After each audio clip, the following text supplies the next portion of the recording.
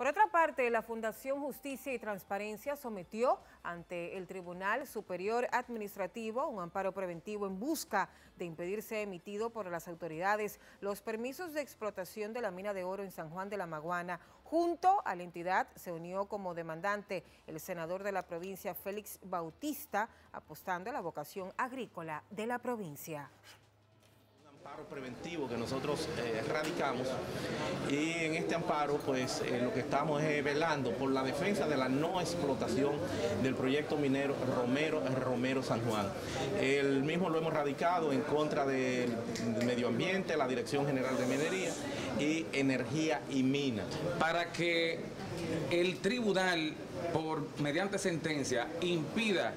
que el Ministerio de, de Minas, el Ministerio de Medio Ambiente, pues eh, den los permisos para que esta compañía explote eh, una, una, una provincia que no tiene vocación minera, es una provincia que tiene vocación agrícola, una, mina, una provincia que tiene vocación ecológica y por lo tanto hay que preservarla como un patrimonio de la República Dominicana.